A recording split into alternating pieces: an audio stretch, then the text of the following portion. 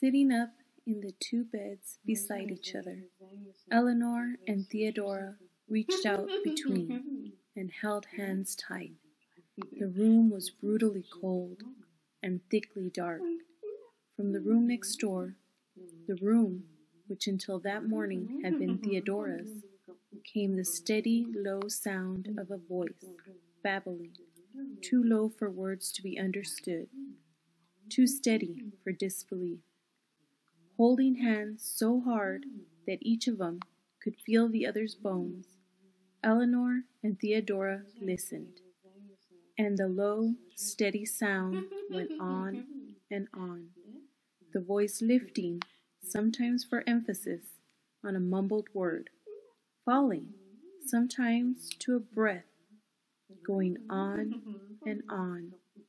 Then, without warning, there was a little laugh, a small, gurgling laugh that broke through the babbling and rose as it laughed on, up and up the scale, and then broke off suddenly in a painful gasp, and the voice went on.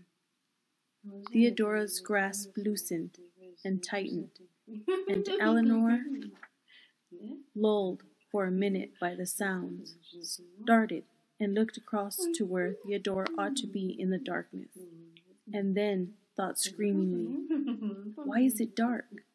Why is it dark?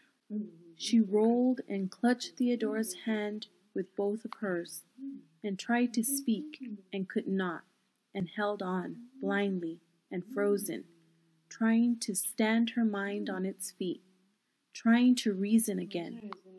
We left the light on, she told herself. So why is it dark? Theodora, she tried to whisper, and her mouth could not move.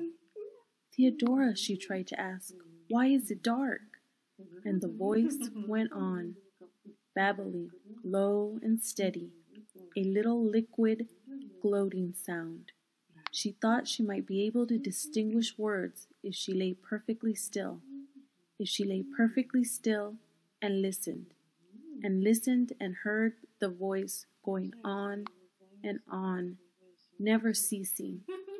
And she hung desperately to Theodora's hand and felt an answering weight on her own hand. Then the little gurgling laugh came again, and the rising mad sound of it drowned out the voice. And then suddenly, absolute silence. Eleanor took a breath, wondering if she could speak now. And then she heard a little soft cry which broke her heart. A little infinitely sad cry, a little sweet moan of wild sadness. It is a child, she thought with disbelief. A child is crying somewhere. And then, upon that thought, came the wild, shrieking voice she had never heard before, and yet knew she had heard, always in her nightmares. Go away! It screamed. Go away! Go away! Don't hurt me! And after, sobbing, Please don't hurt me! Please let me go home! and then the little sad crying again.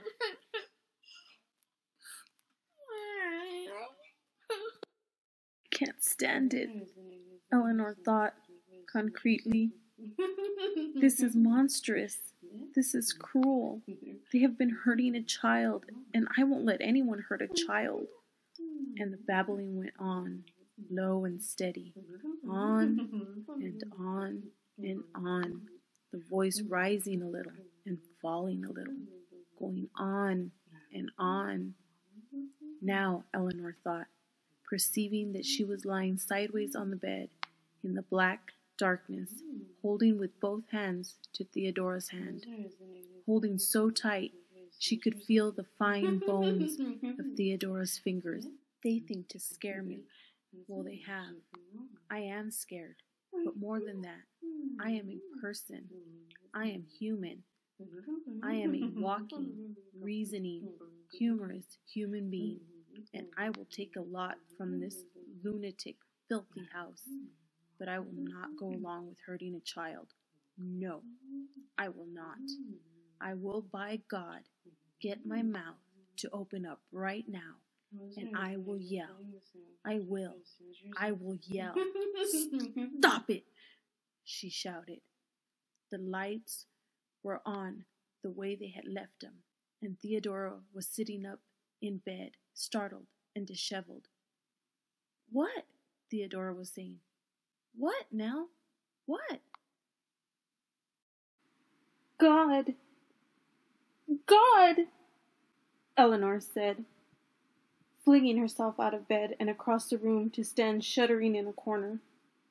God! God!